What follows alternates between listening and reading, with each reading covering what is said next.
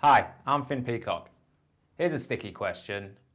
What's the difference between the three major solar panel technologies? That is monocrystalline, multicrystalline or polycrystalline, same thing, and uh, the wildcard thin film solar. Let's start with monocrystalline and multicrystalline. It's an easy answer. There's no difference. Um, I say that because I get emails all the time. Oh, this solar, solar sales guy that sells monocrystalline solar panels, he tells me that multicrystalline solar panels are crap. And I hear exactly the opposite from the guys that sell multicrystalline solar panels. They say, oh, this is better for Aussie conditions, that's better for Aussie conditions. Pure bullshit.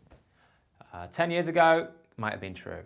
Um, I won't go into details, but solar panel technologies come on, a good monocrystalline solar panel and a good multicrystalline solar panel to all practical purposes perform identically. Um, don't get hung up over mono or multi, um, mono or poly. Don't just get a good solar panel, okay? Where there is a difference between solar panel technologies is thin film solar.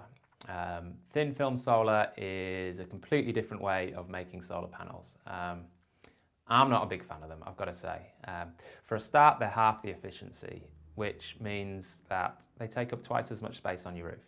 So you need a huge roof to get any kind of decent sized solar system.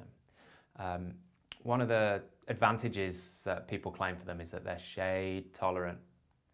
That winds me up. there is no such thing as a shade tolerant solar panel. If you have a solar panel and it's in shade, I don't care what technology it is, you ain't gonna get any electricity because there's no sun shining on it.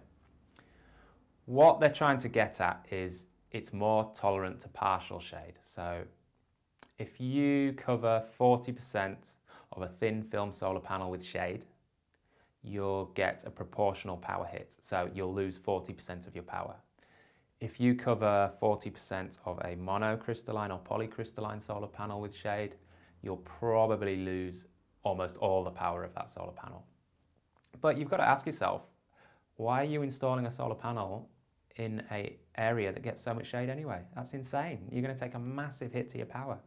So yes, thin film solar panels are more tolerant to partial shade, but I still think they're a waste of time. and I get into trouble for saying that. But stick with mono, stick with multi. If you want to read uh, my other thoughts on thin film solar panels and the problems with them, there's a blog post I wrote.